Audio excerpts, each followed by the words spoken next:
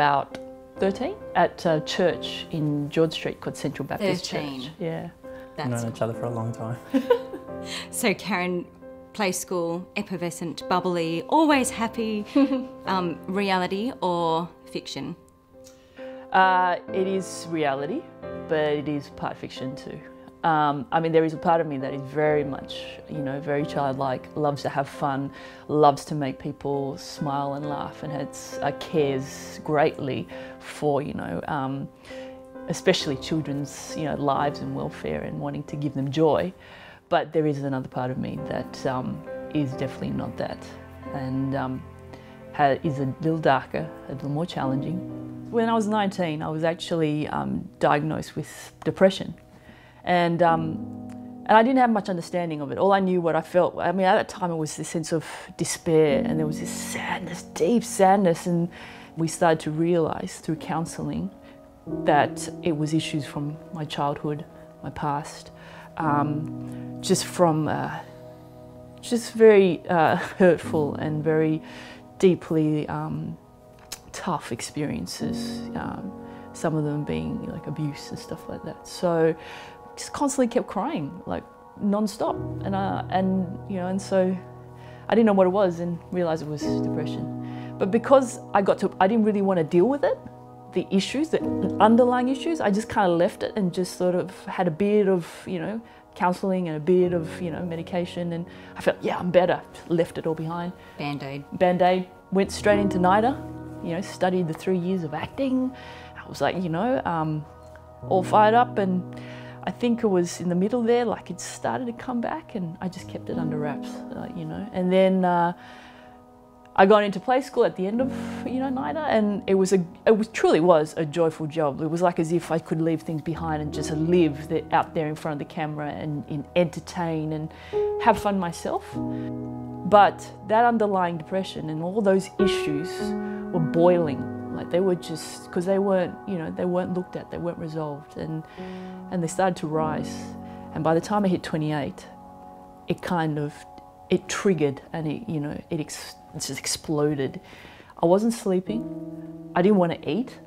Um, I was constantly, my, my thoughts just were tumbling over one over the other. So they had said to go to this doctor who was very good at, um, you know, mental health. And he said, look, it really sounds like you have um, bipolar. What exactly are you talking about when you use the term bipolar? First of all, I have what they call um, bipolar 1, which is, uh, it's high, very high highs and very low lows, but they they don't happen all the time. It's like it's you know it happens and then a time might pass and then you know and then it kind of hits bipolar two, that which is the other um, type of bipolar, is that it's a more constant up and down, up and down, and not as the depth and the height is not as great. And because there was a lack of understanding and a lack of for myself um, also willingness I went into my first episode um, as with bipolar, and I cannot remember what happened. I only remember that first point, going to that doctor, and that all that weird stuff, and then I got lost, um, and it flew. At the time was very frightening.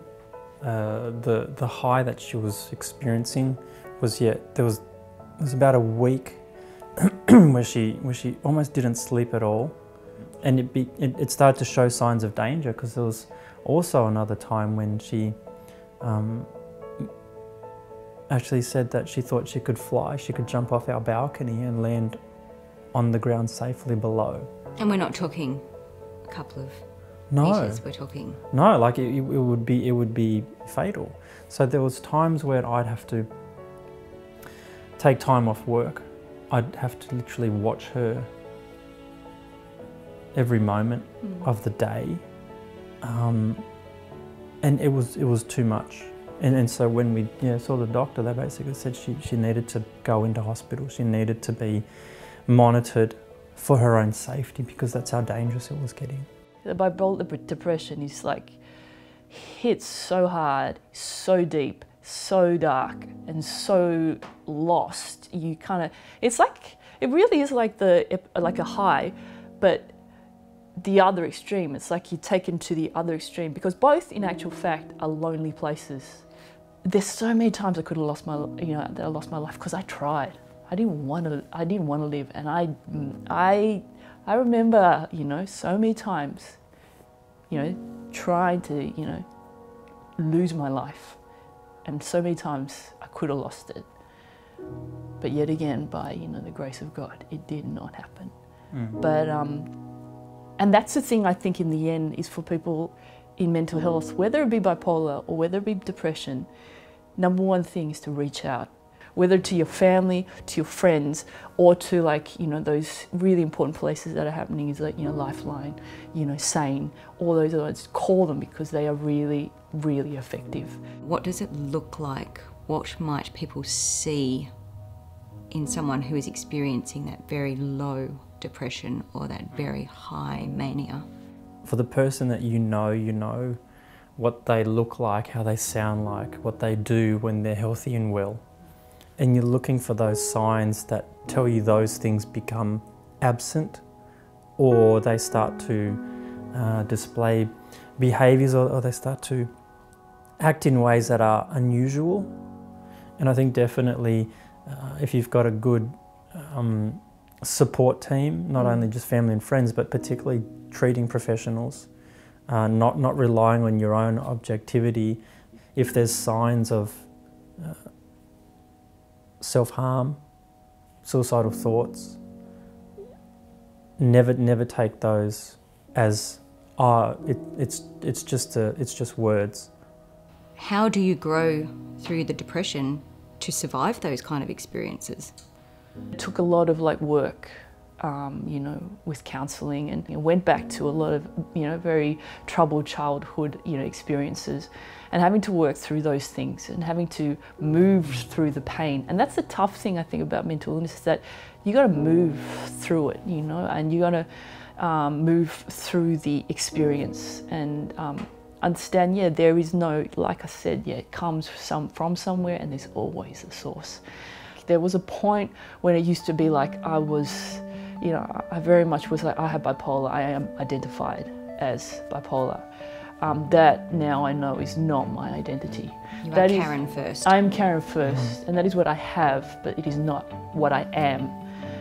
Mental health is a part of, you know, is it's a part of life. Everyone has mental health. You know, everyone has their good days and their bad days. Everyone has to take care of their mental health. Like, you know, no one's, mm. you know, not susceptible to yeah. So, as you look forward to the future together, what are some of the bright things that you're looking forward to? Yeah, we really would like to have a family, but it hasn't been possible because of my sickness and because of the amount of medication that I've been on. And so I'm at this point where we, you know, slowly just kind of weaning off the, you know, the the ones that are not needed anymore. And it's actually at a point where it's like, oh, it's kind of, the possibility is more hopeful than it has ever been to, you know, um, to have children. So that's, you know, a really great hope. I am in, been in the healthiest place I've been in for the, now for the last two years, you know, of my life. And, and it's just amazing just to feel that. That's like, in that sense, it's a great, you know, um, a hope because that's just going to continue to grow, you know, like, um, and a sense of identity, you know, just of knowing solidly, you know, in terms of who I am, what I can do, um, what I'm, what my potential is. You know, I am more here and present than I have ever been, and so in that sense, I, you know, I'm now I can finally go, wow, these, what can I dream, what can I hope, and you know, and know that I can actually get there. I'm glad that you have that hope. You sound like you have had an amazing journey and a lot of growth over a long time. It's not an easy fix, and I just want to say thank you so much for opening up and sharing with us.